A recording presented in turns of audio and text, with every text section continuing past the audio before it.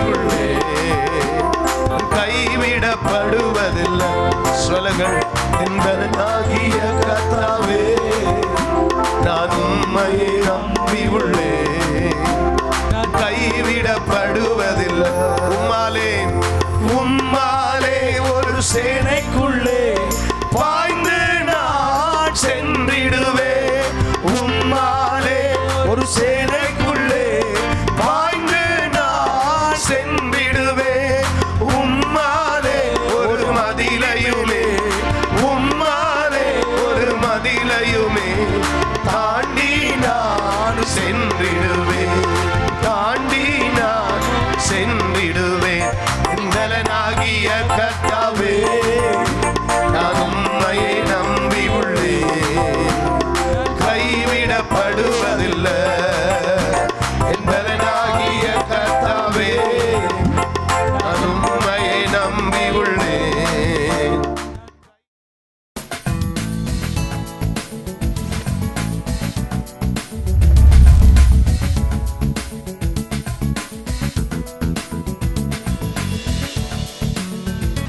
கர்த்தருடைய நாமத்தை மகிமைப்படுத்துவதன் மூலம் சாத்தான் வெட்கப்படுகிறான். ஒரு இல்லையோ சொல்லுமாமே இந்த வருஷம் வாக்கு தத்தத்தை மீண்டும் ஒரு மிசை கூட ஞாபகப்படுத்த விரும்புகிறேன். ஆண்டு நம்ம கொடுத்த வாக்கு தத்தம் என்ன?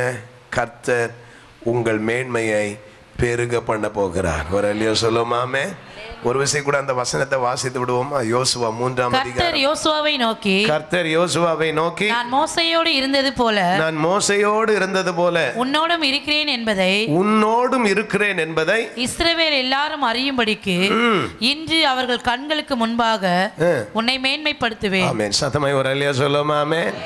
எல்லாருடைய கண்களுக்கு முன்பதாக கர்த்தர் நம்மை உயர்த்த போகிறார். ஆமென். சத்தமா ஒரு அல்லையா சொல்லுங்களேன். ஆமென். எல்லாருடைய கண்களுக்கு முன்பதாக கர்த்தர் உங்களை வளர செய்ய போகிறார். அங்கே நம்ம எப்படி அந்த கடால் என்கிற அந்த வார்த்தை எப்ரே வார்த்தை கர்த்தர் உங்களை மேன்மை அடைய பண்ண போகிறார் என்று சொல்லும் பொழுது இந்த அர்த்தங்கள் எல்லாவற்றையும் புரிந்து கொள்ள வேண்டும். அநேகருக்கு மேன்மை என்பது புரியாமல் இருக்கலாம். கர்த்தர் உங்களை அட்வான்ஸ்மெண்ட் பண்ண போகிறார். கைகளை வைத்திராலே சொல்லுமாமே எல்லாரும் சொல்கிறாங்க புதுசாக ஒரு மொபைல் ஃபோன் வாங்கிட்டா என்ன புதுசாக ஏதாவது ஒரு கார் வாங்கிட்டா எல்லாரும் அவங்கள பார்த்து என்ன சொல்கிறீங்க ரொம்ப அட்வான்ஸ்டாக போறியேன்னு சொல்கிறீங்களே அதைத்தான் ஆண்டவர் இந்த ஆண்டு உங்களுக்கு செய்ய போகிறார். அலையலூயா புரிஞ்சுதா உங்களுக்கு நல்ல சத்தமாக ஒரு அலையா சொல்லுங்களாமே பிள்ளைங்க கொஞ்சம் படித்து கொஞ்சம் நல்ல வீடெல்லாம் கட்டிட்டீங்கன்னா கொஞ்சம் ஹைடெக்கில் உள்ள எல்லாம் நல்ல ஃபால் சீலிங் எல்லாம் பண்ணி ரொம்ப லைட்டெல்லாம் போட்டு ஒரு மாதிரி வீடெல்லாம் கட்டுறாங்க இப்போ. அப்போ அந்த வீட்டுக்கு போனால் என்ன சொல்கிறோம் உங்கள் வீடு ரொம்ப அட்வான்ஸ்டாக இருக்குது என்ன? டெக்னாலஜி அட்வான்ஸ்டாக ஆகிடுச்சு வீடு அட்வான்ஸ்டாக ஆகிடுச்சு ஆண்டவர் சொல்கிறார் உங்கள் வாழ்க்கையும் கர்த்தர் மேன்மை அடைய பண்ண போகிறார். ஹalleluya இன்னொரு விதத்தில் சொல்ல வேண்டுமென்றால் கர்த்தர் உங்களை பெருமைப்படுத்த போகிறார். ஒரு இல்லையா சொல்லுவோமாமே ஆண்டவர் உங்கள் மூலம் பெருமை அடைய போகிறார். நீங்கள் அவருடைய ஜனம் அவருடைய பிள்ளைகள் என்று சொல்லும் பொழுது அமேன் உங்கள் மூலம் அவர் பெருமைப்படுவது மாத்திரமல்ல உங்களையும் கர்த்தர் பெருமைப்படுத்துவார். சொல்லுங்க நான் கிறிஸ்தவனாக இருப்பதினால் நான் பெருமைப்படுகிறேன். சொல்லுங்கள் நான் கிறிஸ்தவனாக இருப்பதினால் பெருமைப்படுகிறேன். சிலர் சொல்லுவாங்க இல்லையா நான் இந்தியன் என்று என்ன செய்யணுமா? பெருமைப்படணும். அப்படின்னு ஆண்டவர் சொல்கிறார் நீ ஆண்டவருடைய பிள்ளையாக இருக்கிறதுனால ஆண்டவர் சொல்கிறார் உன்னை பெருமைப்படுத்துவார். ஹalleluya எல்லாரும் சொல்லுங்கள் என் பேரை பெருமைப்படுத்துவார். எந்த தெருவில் இருக்கிறீங்களோ எந்த கிராமத்தில் இருக்கிறீங்களோ அந்த இடத்துல கர்த்தர் உங்கள் மகிமையை விளங்க பண்ணுவார். விசுவாசிக்கிறவர்கள் ஒரு இல்லையா சொல்லுங்களாமே அல்ல ஒரு நாளும் நீங்கள் சோர்ந்து போய் விடக்கூடாது. நீங்கள் இருக்கிற இடங்களில் நீங்கள் பெரியவர்களாக மாற சிறந்தவர்களாக மாற ஆண்டவர் உங்களுக்கு உதவி செய்வார். ஆபிரகாம் பெரியவனாயிருந்தான். ஈசாக்கு வர வர விருத்தி அடைந்தான் யோசேப்பை கர்த்தர் எல்லாவற்றிற்கும் மேலாய் உயர்த்தி வைத்தார். எஸ்தரை கர்த்தர் உயர்த்தினார். மொர்தகாயை கர்த்தர் உயர்த்தினார். கைகளை வைத்தோர் இல்லையா? சொல்லுமாமே இதுக்கெல்லாம் பயன்படுத்தப்பட்டிருக்கிற வார்த்தை தான் நான் சொல்லுகிற மேன்மை. ஹalleluya நீங்கள் முற்றத்தில் கிடந்தாலும் கர்த்தர் உங்களை சிங்காசனத்தில் அமர வைக்கிற தேவனாக இருக்கிறார். ஆமென். கைகளை தடி ஆண்டவருக்கு நன்றி செலுத்தும் எல்லாரும் விசுவாசிப்போம். ஆண்டுடைய வார்த்தையை ஏற்றுக்கொள்வோமாக. இயேசுவின் நாமத்தினா இன்றைக்கு கர்த்தர் எங்களை உயர பண்ண போகிறார். மற்றவங்க நீங்கள் வளர விடாதபடி உங்களை வெட்டி வெட்டி விடலாம். நீங்கள் சொல்லுங்கள் நீங்கள் என்னை எவ்வளோ வெட்டுறீங்களோ அவ்வளவு நான் வளர போகிறேன். ஹalleluya என்னை எவ்வளவு நெருக்கிறீங்களோ அந்த அளவுக்கு நான் என்ன செய்வேன்? பெருகுவேன். I will become great I will multiply I will grow up சொல்லுங்க பார்வோன் பார்வோன் இஸ்ரவேல் ஜனங்களை எவ்வளவு ஒடுக்கினாலும் நீங்கள் சொல்லணும் நாங்கள் வர வர என்ன செய்வோம்? பெருகிட்டே போவோம். பலத்த ஜாதியாய் கத்த நம்மை மாற்றுவார். கைகளை வைத்து எல்லாரும் சொல்லுவோம் ஆண்டவரே எங்களை நீர் பலத்த ஜாதியாய் மாற்ற போகிறேன் விசுவாசம் வரல இன்னும் அநேகருக்கு சொல்லுங்கள் கர்த்தர் என்னை பலத்த ஜாதியாய் மாற்ற போகிறார். என் தலையை கத்தர் உயர்த்துவார். என் மேன்மையை கத்தர் பெருக பண்ணுவார். இன்னைக்கு தூளிலும் சாம்பலிலும் இருந்த ஆண்டவரை நோக்கி கூப்பிடலாம். யோபுவை போல. அந்த ஆண்டவர் சொல்லுகிறார் உன்னுடைய முன்னிலைமையை பார்க்கலாம் பின்னிலைமை என்ன செய்வேன்? ரெட்டிப்பா ஆசீர்வதிப்பேன். கைகளை உயர்த்தவர் ஒரு அழியா சொல்லுங்களாமே சோர்ந்து போகாதீங்க. ஆசீர்வதிக்கிற தெய்வம் இந்த ஆண்டு உங்களோடு கூட கடந்து வர விரும்புகிறார். உங்களை மேன்மைப்படுத்த விரும்புகிறார். நீங்க ஆண்டவரை விட்டு தூரம் போய்விடக்கூடாது. யாரை கத்தர் ஆசிர்வதிப்பார் என்பதை ஒன்றாம் தேதி காலையில் நான் சொன்னேன். தாழ்மை உள்ளவர்களை கர்த்தர் உயர்த்துவார். ஹalleluya யோசுவாவுக்குள்ள அந்த தாழ்மை இருந்தது. ஐ மீன் மோசைக்கு ஊழியக்காரனாக இருந்தான். மோசை மறிக்கிற வரைக்கும் அவனுக்கு பெயர் மோசையின் ஊழியக்காரன்.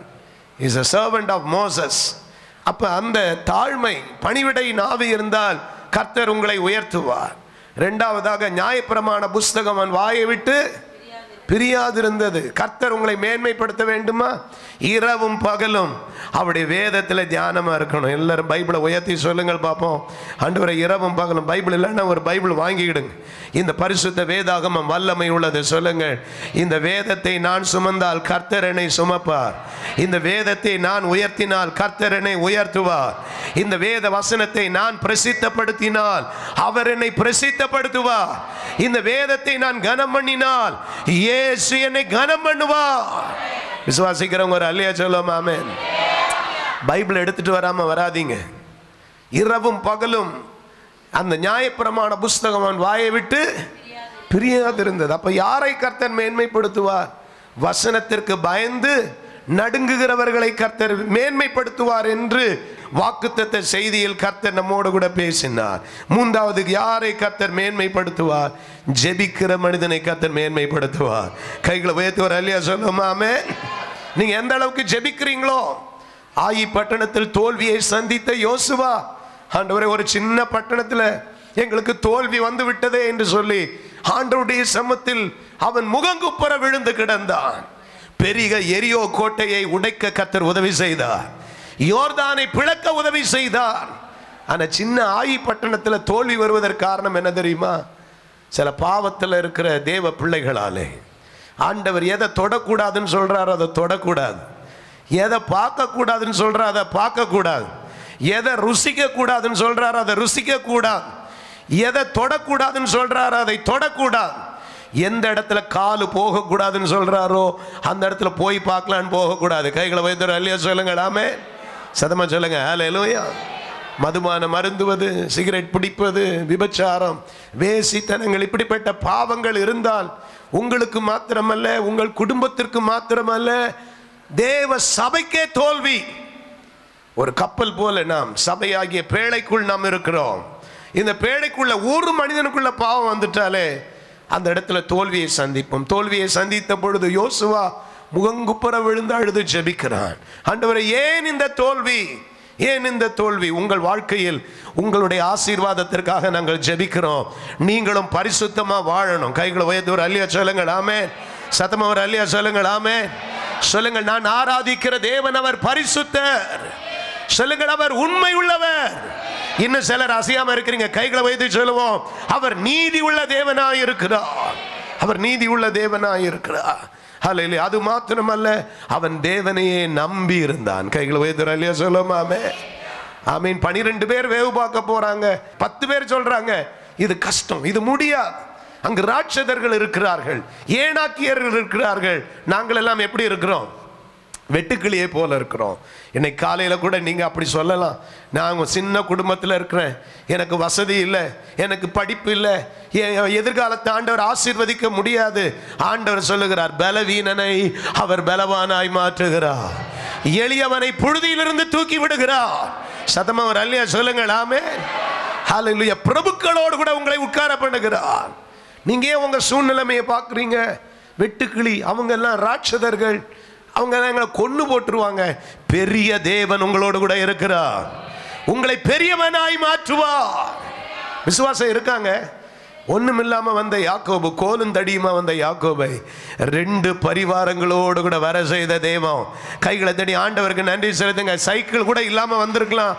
ஆண்டவர் உங்களுக்கு சொல்லுங்க உங்களுக்கு ஆடி கார் கூட தருவார். ஒரு இல்லையா சொல்லாம ஆமே சிலருக்கு விசுவாசமே இல்லை. நான் எங்கே ஆடி கார் வாங்க போகிறேன் நம்முடைய விசுவாச குறவுனால தான் அதெல்லாம் செய்கிறோம். ஆண்டுடைய வேலைக்காக காத்திருப்போமாங்க. இப்போ பக்கத்தில் உங்களை பார்த்து சொல்லுங்கள் இனிமேல் நான் செகண்ட் ஹேண்ட் வாங்க மாட்டேன். வாங்கின எல்லாமே கத்தர் எனக்கு புதிதாக தரணும். சொல்லுங்கள் எனக்கு ஆண்டவர் எல்லாம் என்ன செய்யணும்? புதிதாக தரணும். ஆரம்பத்தில் இந்த சபையை கட்டும் பொழுது பழைய க பழைய இரும்புகள் காய்லாங்கடையில் போய் வாங்கி அன்றைக்கு இருந்த பொருளாதாரத்தின்படி எப்படியாவது ஒரு ஆலயத்தை கட்டணுமேன்னு சொல்லி இருபத்தஞ்சாயிரம் ரூபாய்க்கு பைப்பு இருபத்தஞ்சாயிரம் ரூபாய்க்கு ஷீட்டு எல்லாம் வாங்கி இந்த ஆலயத்தை கட்டின. ஆண்டவர் என் விசுவாசத்தை பார்த்தார். என் முயற்சியை பார்த்தார்.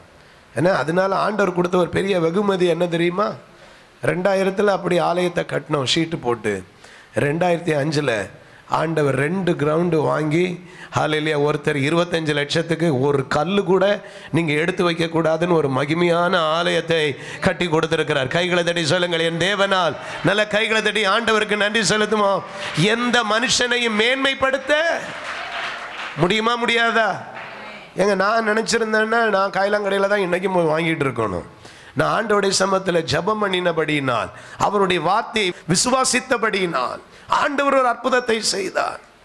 அந்த சகோதரர் என்னை பார்த்து சொன்னார் பாஸ்டர் என் பிள்ளைக்கு அற்புதம் நடக்கிறதுனால நான் இந்த பொருத்தனை பண்ணலை. நீங்கள் செய்கிற ஊழியத்தை நான் பார்க்கிறேன். ஐந்து ஆண்டுகளாக உங்களை பற்றி ஆமீன் என்னிடத்தில் பலர் வந்து சொல்லுகிறார்கள். எங்கள் குடும்பத்தில் இருக்கிறவங்க சொல்கிறாங்க ஆகவே நான் தீர்மானம் பண்ணிட்டேன். உங்களுக்கு இந்த சபையை கட்டித் தருவேன். ஆனால் ஒரே ஒரு விண்ணப்பம். என் பையன் திக்குவாயாக இருக்கிறான். அவன் ஸ்கூலுக்கு போகிறதுக்கு முன்னாடி என்ன செய்யணும்? பேசணும் அவனுக்காக ஜெபம் பண்ணுங்கன்னு சொன்னார். நாற்பது நாள் உபவாச ஜெபம் பிப்ரவரி மாதம் வரப்போகுது. அந்த நாற்பது நாள் உபவாச ஜெபத்தில் ஜெபம் பண்ணோம். மார்ச் ஐந்தாம் தேதி வருவதற்குள் ஆமீன் எனக்கு ஒரு நல்ல செய்தி வந்தது. என் பையனுடைய திக்கு நாவு எங்க போனது என்றே தெரியவில்லை. நம்முடைய தேவன் அற்புதங்களை செய்கிற தேவன். நல்ல கைகளை தட்டி ஆண்டவருக்கு நன்றி செலுத்துவோமாக. விசுவாசம் இருந்தால் நல்ல கைகளை தட்டி ஆண்டவரை ஸ்தோத்திரம் பண்ணுங்கள். இயேசு கிறிஸ்து நேற்றும் இன்றும் என்றும் மாறாதவர். ஒரு அல்லையா சொல்லுவோம்? மாமே அன்றைக்கு அற்புதம் செய்த தேவன் ரெண்டாயிரத்தி அஞ்சுல செய்த தேவன் தான். இன்றைக்கு ரெண்டாயிரத்தி பத்தொன்பதிலும் சொல்லுகிறார் நான் உனக்கு அதிசயங்களை செய்வேன். அலலூயா கர்த்தாவே தேவர்களில் உமக்கொப்பானவையா? வானத்திலும் பூமியிலும் உமக்கொப்பானவையா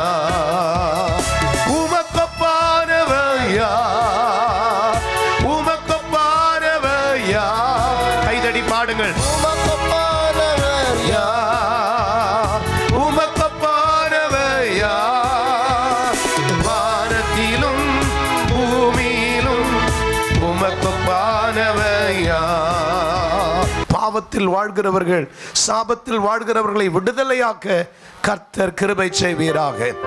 ஒவ்வொருவரையும் ஆசீர்வாதத்தோடு கூட அனுப்புவோம். இயேசுவின் நாமத்தில் ஜபிக்கிறோம் பிதாவே. காலை தள்ளாட ஓட்டார். உன்னை காக்கும் தேவன் உறங்கா. கைதடி பாடுங்கள். உன்னை காக்கும் தேவன் உறங்கா.